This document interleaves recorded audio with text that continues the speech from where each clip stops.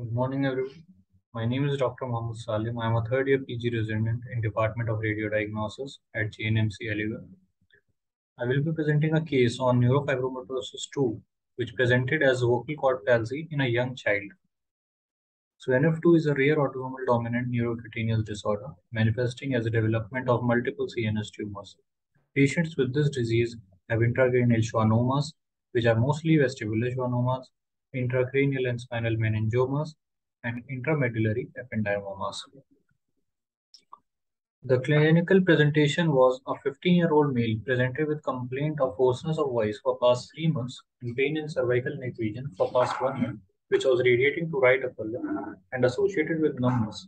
No other comorbidities were present. On examination, his vitals were stable. Her abdomen was soft and non-tender. His laryngoscopic evaluation showed light parietal and right vocal cord palsy. His imaging findings on MRI were there were bilateral cerebellopontine angle solid mass lesion with intracanalicular extension.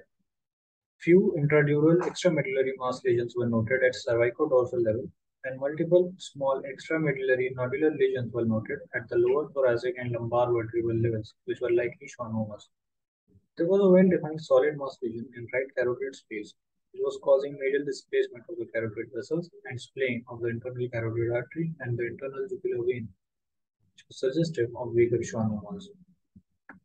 These are the sagittal cuts of the patient, in which we can see there are two well-defined T1 hypointense, T2 iso to hyperintense lesions in the extramedullary region of the cervical spinal cord, which are causing significant mass effect over the spinal cord. In the third image, we can see that there are multiple small, well-defined nodular T2 hypointense lesions in the lower dorsal and lumbar vertebral levels. In this image, we can see that uh, on the axial T1 post-contrast image, there is significant post-contrast enhancement of the lesion, which is causing significant mass effect over the cervical spinal cord. The same finding can also be confirmed on the STIR core image, we can also see that there is a well-defined enhancing solid mass lesion noted in the region of the right carotid space, which is causing splaying of the internal jugular vein and the internal carotid artery.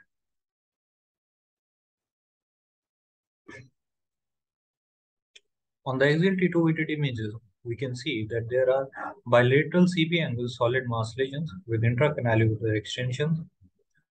An axial T1 post-contrast image taken at a lower level shows the solid mass lesion in the right carotid space region, which is causing splaying of the ICA and the IJV.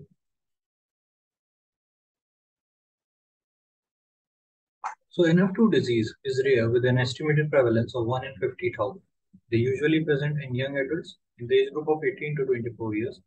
Of patients with NF2, 50% have an affected parent, that is, they have autosomal dominant inheritance, and 50% have a de novo mutation.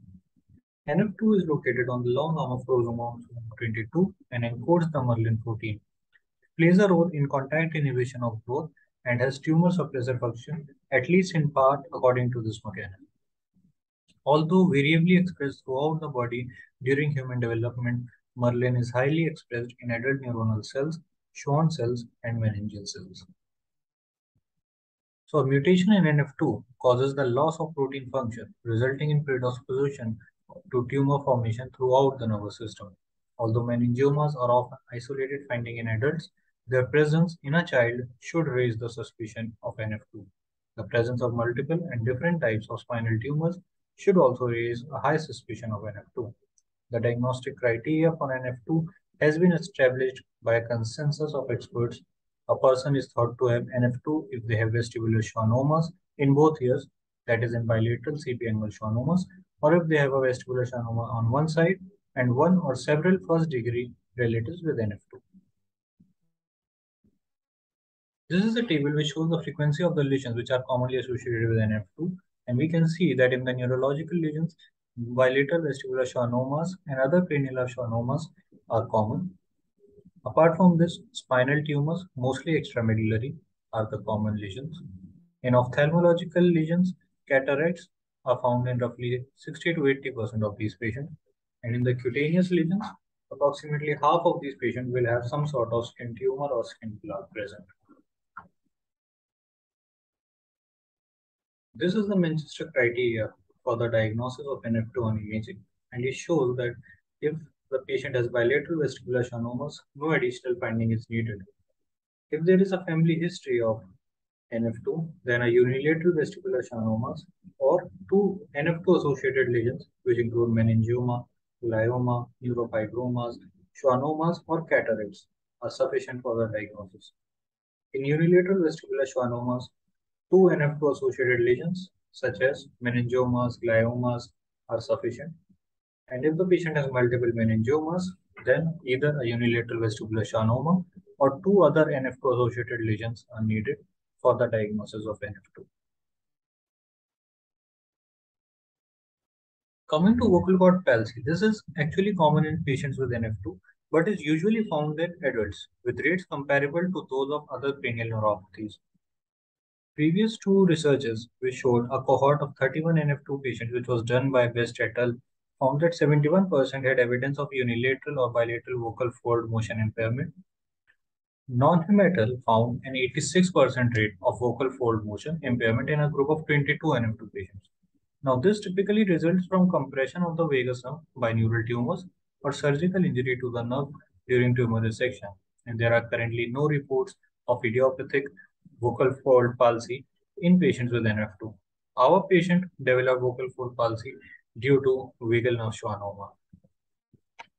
Another possibility is that the mobility impairment may have resulted from a subclinical peripheral neuropathy, as these have been characterized in patients with NF2. Electrophysiological evidence of peripheral neuropathy in the absence of tumor masses in NF2 patients has been demonstrated. Our patient's young age at presentation is unusual as the two previous studies of NF2 patients with vocal fold palsy included only adults.